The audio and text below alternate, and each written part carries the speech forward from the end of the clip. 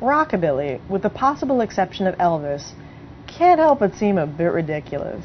I mean, any kind of instrument that requires slapping sounds like it should be in a cartoon that takes place on a farm. But when you're a hot Irish chick, you can get away with anything, even a four foot coiffure whose structural integrity is entirely dependent on pomade. Imelda May is just such a woman.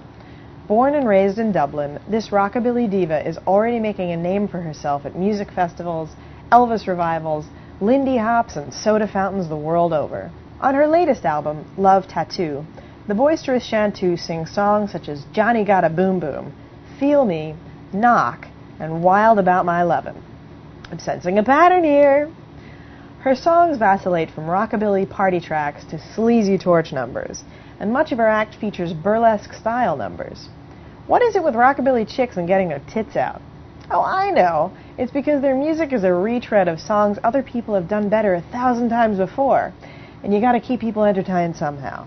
In 2008, the Irish World Newspaper Awards crowned Imelda Best Female Newcomer, that same year, the awards also named Johnnie Walker the Best Breakfast for the 57th year running. Perhaps more impressive than Imelda's own burgeoning music career is her career as a voyeur and starfucker.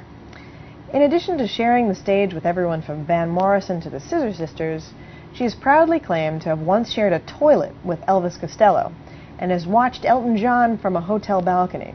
Well, if that's what it takes to become famous, I don't know why the paparazzi aren't banging down my door. Well, I'm not sure I can trust someone who might be watching me pee from a hotel balcony, even if she is wearing nipple tassels and singing like Elvis at the time. Besides which, it's only a matter of time before both the hair and the tits lose their perkiness, and we're left feeling like we would rather have just listened to Elvis. So this is Dr. Biaggi telling you to turn it down.